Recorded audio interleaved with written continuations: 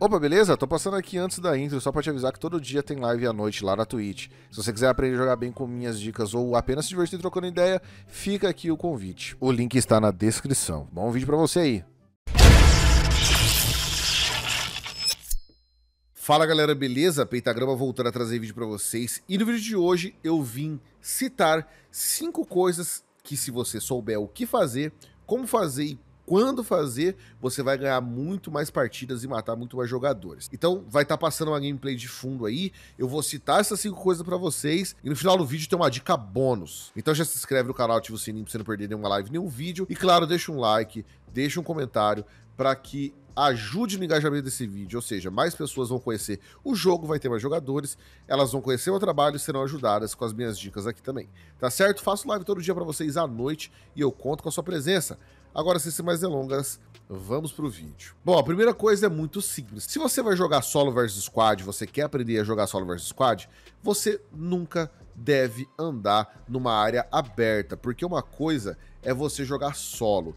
Na solo é um jogador te atirando. No squad, os quatro estão junto, então é quatro jogadores te atirando.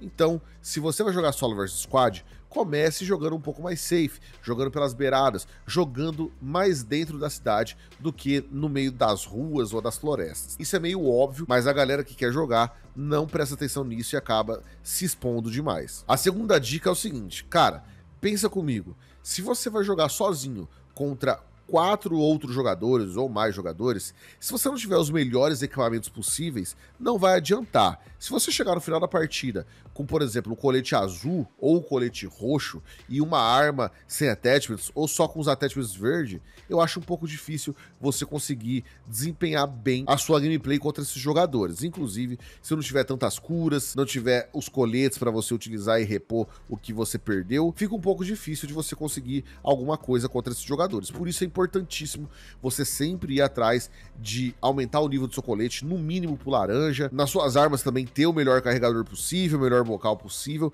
para que você consiga não só controlar o recuo bem, mas mirar mais rápido também e aguentar mais tiros. Você sabia que se você se tornar membro do canal, você vai ter vários benefícios?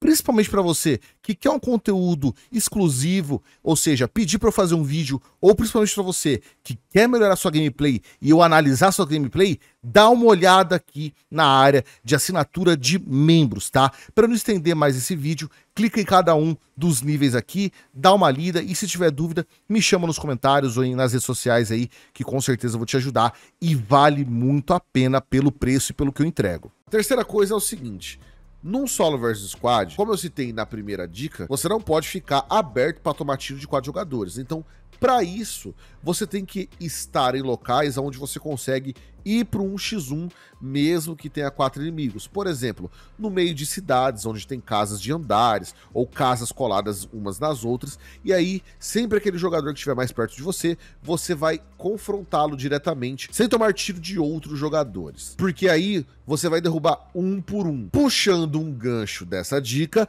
a quarta dica é saber rotacionar entre essas casas ou qualquer obstáculos visuais ou físicos. Isso faz com que os outros inimigos perca sua localização. E aí a gente dá o gancho para a quinta dica, que é saber se posicionar bem. Saber se posicionar evita ângulos de tiro, ou melhor, a visão de que o inimigo tem para poder te acertar. E dependendo do que tiver ao seu redor, né, seja os obstáculos visuais e físicos, você consegue vantagem de posição e visão. E se você tiver noção de jogo, você vai usar tudo isso da melhor maneira possível. Se você tem noção de jogo, você já sabe de todas essas informações e utiliza da melhor maneira possível. Porém, se você já se autoavaliou, se você sabe que você mata poucos jogadores e morre bastante jogando esses tipos de jogos, ou seja, perde muita partida, eu te indico a conhecer meu treinamento online chamado Gameplay Evoluída. Lá tem conteúdo de 18 anos de noção de jogo, tem tudo que você precisa saber, como fazer e quando fazer para matar mais jogadores e ganhar mais partidas. Meu treinamento é a ponte para você que está no ponto A chegar até o ponto B,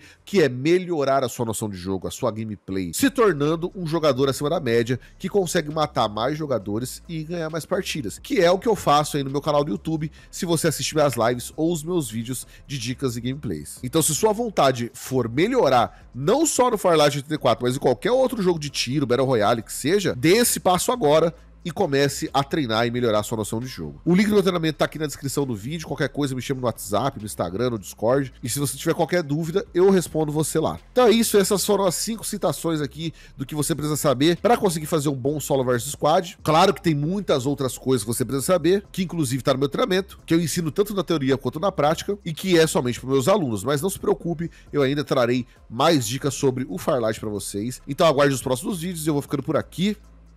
Um abraço, falou e até mais.